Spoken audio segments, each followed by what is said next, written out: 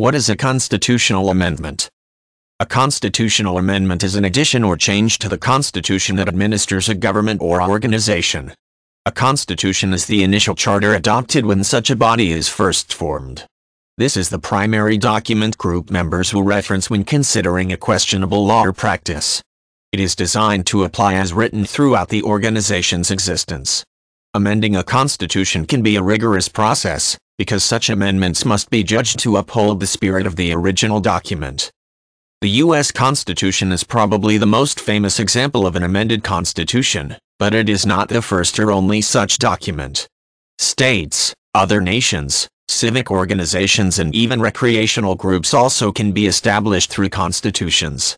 Every U.S. state, the nation of Sweden, the United Auto Workers Union, and the Sports Club of New York's Binghamton University are among the bodies that refer to their primary charter as a constitution.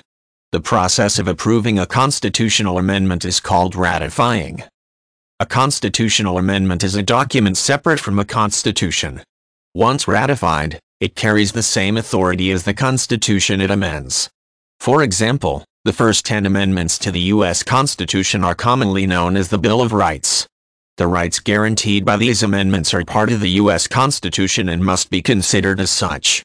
When the U.S. Supreme Court deliberates over a legal issue, it must weigh the Bill of Rights and all other amendments before deciding if the matter is truly constitutional. Amending a constitution is often a complex task. An amendment to the U.S. Constitution, for example, must be proposed by two-thirds of the members of both houses of Congress, and then ratified by three-fourths of the individual state legislatures.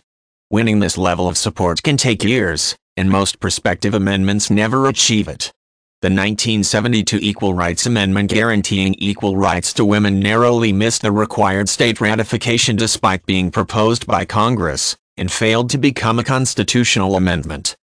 The process of ratifying a constitutional amendment can be less rigorous, depending on the organization.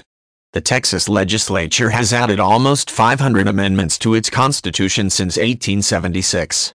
The National Constitution of India, effective in 1950, has since been amended more than 90 times. Smaller organizations such as towns may allow constitutional amendment to be ratified by a majority vote of council members. One drawback of this is that such ease of change increases the possibility that a constitutional amendment may change the original intent of the Constitution.